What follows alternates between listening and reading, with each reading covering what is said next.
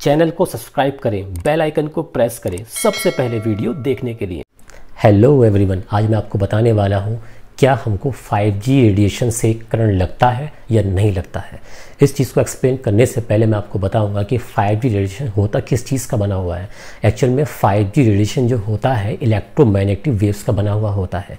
ये electromagnetic waves इस type की वेव्स होती हैं कि इनके ऊपर चुंबक का या बिजली का कोई इफ़ेक्ट नहीं पड़ता है। इसके अलावा ये सेवन टाइप्स की होती हैं जिनका एक याद करने का फॉर्मूला क्लास ट्वेल्थ में हुआ करता है, रमा डी पी एक्स गामा, जिसके बारे में है हम डिस्कस नहीं करने वाले, अब मैं आपको सिक्के के दूसरे पहलू की तरफ़ लेकर के चलता हूँ। इलेक्ट्रोस्टैटिक चार्ज क्या होता है इलेक्ट्रोस्टैटिक चार्ज इन 1785 गिलवर्ट ने हमको बताया कि अगर हम अंबर नाम के सब्सटेंस को, अंबर एक्चुअल में एक स्टोन होता है, उस सब्सटेंस को बिल्ली की खाल पर रफ किया जाता है तो स्टोन के अंदर हल्के हल्के पदार्थ जैसे भूसा होता है, कागज़ के टुकड़े होते हैं, उनको अट्रैक्ट करने का गुण आ जाता है।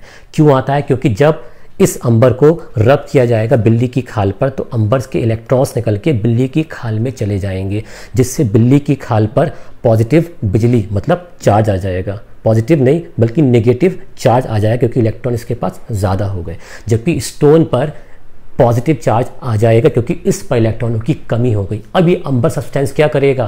कागज़ के छोटे छोटे टुकड़ों को अपनी तरफ़ अट्रैक्ट कर लेगा और कुछ टाइम के लिए इसको चिपकाएगा, बाद में इसको छोड़ देगा। इसको हम कहते हैं इलेक्ट्रोस्टैटिक चार्ज पत्थर को पत्थर पे रगड़ो इलेक्ट्रोस्टैटिक चार्ज अगर हम कांच की ट्यूब को रेशम के कपड़े पे रगड़ दें तो ये भी क्या है? इलेक्ट्रोस्टैटिक चार्ज और अगर हम इसके अलावा किसी भी सब्सटेंस लाइक गुब्बारे को बालों पर रगड़ते हैं तो वहाँ भी क्या बनेगा आपका?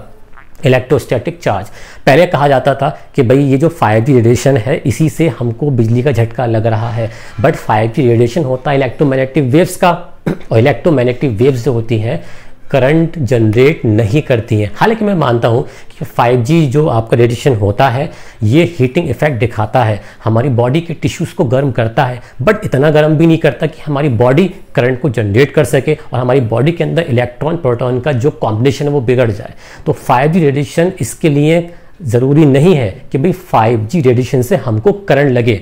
5G रेडिएशन से हमको करंट नहीं लग रहा है। और हाँ इसके अलावा एक अफवाह ये भी फैली हुई है कि ऑक्सीजन के जो मॉलिक्यूल्स हैं, उनकी जो कमी हो रही है एटमॉस्फेयर के अंदर, वो 5G की वजह से हो रही है। जबकि 5G में यूज़ किया जाने वाला इलेक्ट्रोमैग्नेटिक वेव्स या रेडियो फ्रिक्वेंसी का इससे कोई भी कनेक्शन नहीं है। ये तो रेडियो फ्रिक्वेंसी होती है जिसके ऊपर किसी भी चीज़ का कोई इफ़ेक्ट नहीं पड़ता है। और बहुत से देशों में इस फाइव बल्कि सिक्स का भी यूज़ किया जा रहा है। जबकि फाइव रेडिएशन का यूज़ तो केवल महाराष्ट्र जैसे कुछ क्षेत्रों में किया गया था या यूपी या और साइडों में इसका यूज़ भी नहीं किया गया है। और इसका सिर्फ़ एक और एक ही रीज़न है, वो है कोरोना वायरस। जो अपनी फॉर्म चेंज कर लेता है, जैसे कि हम बार बार अपनी फॉर्म चेंज कर लेते हैं, वैसे ही कोरोना वायरस अपनी फॉर्म चेंज करके हमारे लंग्स पर अटैक करता है, जिससे हमें ऑक्सीजन की दिक्कत हो जाती है।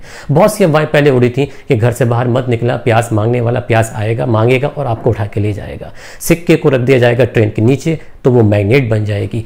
जो लकड़ी का बुरादा होता है, उसमें दूध मिला के, तिल मिला के, धूप में रख दो तो उसकी रबड़ बन जाएगी। सारी के सारी क्या थी? कोरी अफवाहें ये सारा का सारा होता है इलेक्ट्रोस्टैटिक चार्ज जाड़ों में आपने देखा होगा रेशमी कपड़ों में चिंगारी निकलती है, वहाँ भी आपको करंट लगता है। तो सब क्या है आपका? ये इलेक्ट्रोस्टैटिक चार्ज है। इसका 5G रेडिएशन से कोई भी मतलब नहीं है, क्योंकि 5G रेडिएशन इलेक्ट्रोमैग्नेटिक वेव्स है, जबकि इलेक्ट्रोस्टैटिक चार्ज कैसे बनता है, ये मैं तुमको बता चुका हूँ। तो इन अफवाहों से बचें। व्हाट्सअप पर जो ये अफवाहें आ रही हैं, आपके मन के अंदर सिर्फ़ और सिर्फ़ डर पैदा कर रही है, जिससे लोग कोरोना से कम और इसकी डर की वजह से बहुत ज़्यादा मर रहे हैं। तो अपने आप को इस डर से सुरक्षित रखें और अपने आप को इस डर से, ऐसी अफवाहों से दूर बनाकर रखें। जय हिंद।